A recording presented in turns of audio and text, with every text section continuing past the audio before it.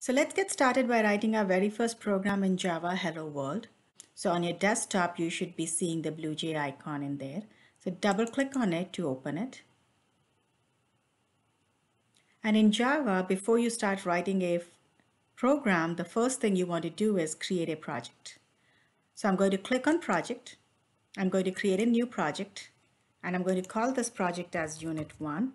And I would like everybody to be organized uh, your projects should be unit one, unit two, and so on. And I'm going to click on choose to set a location. Where do I want to save my uh, projects? Right now, I'm going to select desktop, but if you have to select any other place on your computer, go ahead and pick that place and go ahead and click on select folder. And I'm going to press OK. So as you can see on my screen on the BlueJ here, it shows unit 1.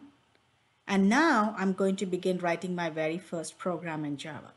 So in Java, we don't say writing, creating a file, we say creating a class. So every application always begins with class definition. So the first thing we want to do is create a new class. So I'm going to click on this button, new class, to create a new class and I'm going to give the class name and I'm going to call it as hello world. As you see, I have not left any space between the two words. So we are going to be using camel case for coding conventions every time we create a new class name. The first letter is always an uppercase, but if you have two or more words, then the first letter of each word is going to be an uppercase.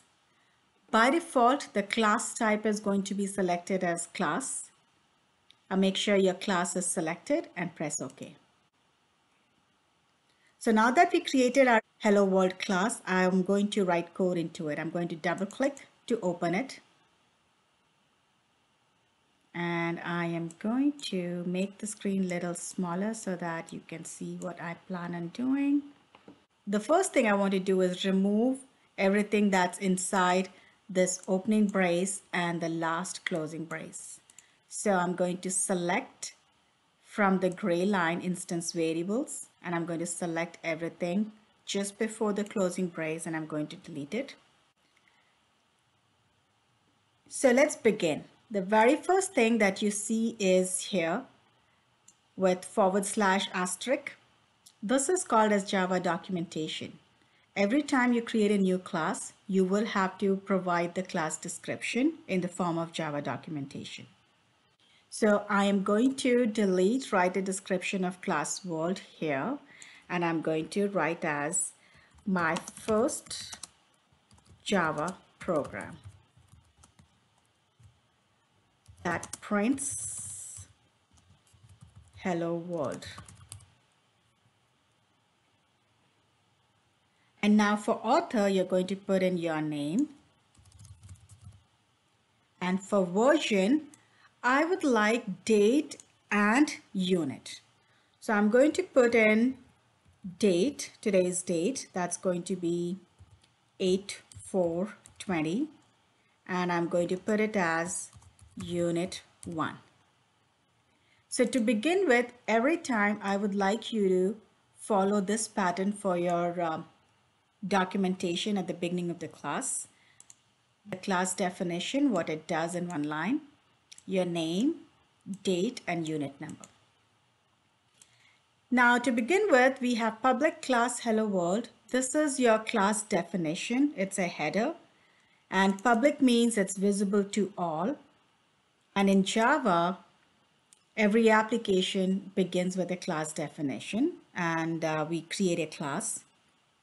Hello World is the name given to the class by us, by a programmer. And every class will have an opening brace and it will have an ending brace. So now just we're going to click after the opening brace and press enter. So, so by default, it moves forward a tab space. So we're going to write our code and the first line of code, we're going to write it as public static void main opening parenthesis, string with an uppercase S, square brackets, args, closing parenthesis, and then press enter and then we have an opening brace and then we will do a closing brace. So now in this line we have public that means it's visible to all. Static we'll discuss that later in later chapters, later units.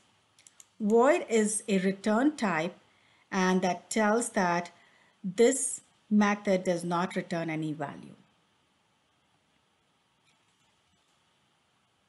Main is the name of the method and it is a very important method and every application in Java must contain a main method and the Java compiler starts executing the code from this main method. It looks for main method and where it finds the main method, the code starts executing from there. A string as an argument and we have an opening brace. Again, after the opening brace, I'm going to press enter and then I'm going to write my statement to print hello world on the screen. So I'm going to say system dot out dot print len. Now print len, this is pronounced as print len. It means print in a new line. ln stands for print in a new line and it's called as print len. And now I'm going to type in my string and as you all know, string is always within the double quotes, enclosed within the double quotes. So I'm going to open the double quotes and I'm going to type in hello, comma, world and exclamation. And then again, I'm going to close it with double quotes because it's a string. And we're going to close the parenthesis because we opened the parenthesis, we have to close it. And then we're going to end the statement with a semicolon. And in Java, every statement ends with a semicolon. So as you can see, this is the first step in writing a program, that is writing your code. That's called as source code. And this file is called as hello world.java because the name of the class is hello world. And since it's the source code, this is called as hello world.java. Now that we have written our code, and as you can see, we have not compiled it. And if you see in this rectangular box, there's like gray lines that tells that this class is not compiled. So now that we've written our code, let's go ahead and click on this compile button. And once it's compiled, if there is no syntax errors, that means there's no spelling mistakes or no grammar mistakes, uh, it says class compiled, no syntax errors. So I'm going to close this. And now I want to run this program and I want to see the output. So remember I said the main method is an important um, entry point to start executing the code.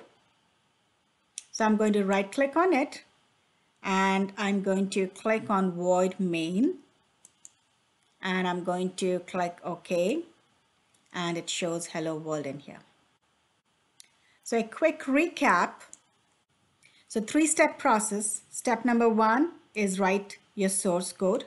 Step number two is compile your program. And step number three is run or execute your program. When you run or execute your program, the compiler looks for the main method. If you see hello world.main, if the main method is not there, your program will not execute. You can't see the output on the screen. So I'm going to press OK and see the output in my screen.